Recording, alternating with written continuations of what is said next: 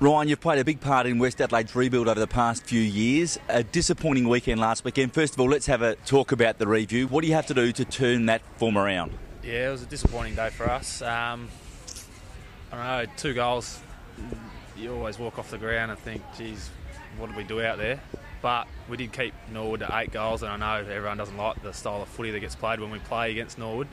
It's just two styles combined. To that's the way it is. But yeah, we just even though we're a defensive team, uh, well, that's what people are calling us a defensive team, but um, we didn't attack. We didn't attack the way we wanted to attack.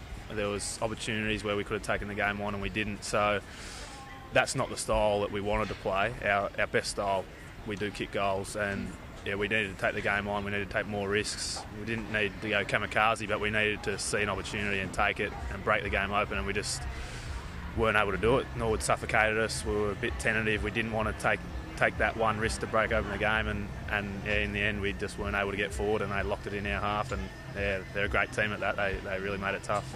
We move on, and that defensive style of play, though, you talk about, that's the way people label you. Do you think that's the sort of style that can win you a premiership ultimately? Our best style can win us a premiership, and it's our, when I see our best style, I don't see it as defensive. There, there are times, uh, stoppages where we set up uh, with with a number or two behind the ball, but when we play well, we run it out so well and we change direction and we go up the middle and we play attacking footy when we play well. When we go into our shells, when we don't play our brand of footy, when we don't play Westies footy, it comes across as defensive because it is because we get a bit. Uh, I guess on the weekend, yeah, just we just didn't take enough risks and, and it and it doesn't kick enough goals and it doesn't win your game. So our best footy is is a brand of footy that will win us a premiership. But if we don't play to our best, obviously it won't. North are polar opposites. They play a real attacking style of footy. They were impressive last week against Centrals. How do you go about stopping them? Uh, take that we, we didn't play anywhere near our best, I don't reckon. Again, those last two times we played North, nowhere near our best, but still in the game. Uh, we're still very close you know, into the last quarter of both games. It could have gone either way. So if we can just narrow in on those focus areas that we've been looking at on uh, Tuesday night, watch the tape, a few areas that we could have taken the game on last week, and if we actually just have enough conviction to, to go for it this week, when it's on, take it and break the game open. It's amazing how much the game opens up from one or two. If you can, if you got enough uh, courage to take it on those one or two times, it'll break it open for other players and for the rest of the game. So, yeah, we stick to our game, but we do it much better. Sounds like belief's a big word. Now, Coach Andy Collins has been at the club, same as you, for five years now. Uh, what big impact does he? What's been the biggest impact he's had? And how does he go about getting that belief back for this weekend's game after last weekend? Yeah, on the senior team, apps just professionalism, um, a real distinct game style. We know our role, we play our role, we know each other's game. We train really hard. Pre-season was every year. Pre-season's gone up another level. Our professionalism's been um, at, a, at another level.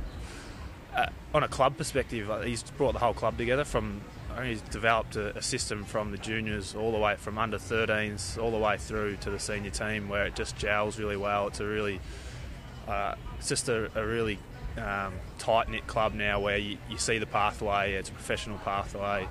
Uh, if you're under 13, you know exactly what it takes to enjoy your footy, but start getting a bit serious and, and work your way through. So even our zones, he's always going out into our, our recruitment zones, and so he's just uh, picked the whole club up from, from what I can see and then it, yeah, hopefully uh, this year it'll it'll result in the top end, you know, the senior team having a, a really good result uh, in a couple of weeks' time. But obviously, you can't you can't win it if you don't get there.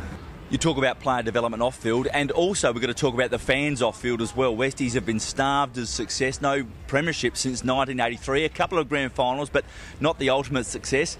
How important is, is it that you do it for the fans?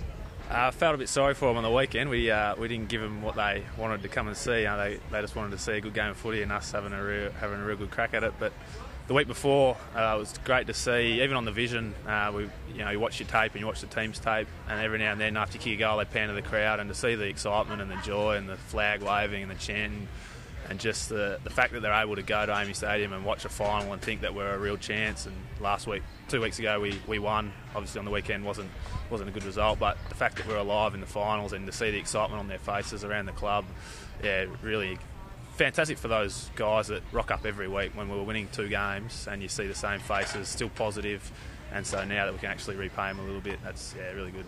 Mate, you have been very positive all year, and things are looking up. Good luck for the final this week against North Adelaide, and fingers crossed for a granny. No worries, thank you. Yeah, we're looking forward to uh, really getting into it this week, and obviously North, the form team of the comp, so we know if we beat them, we'll be a good chance the week after. But yeah, we, we're really pumped up for this week.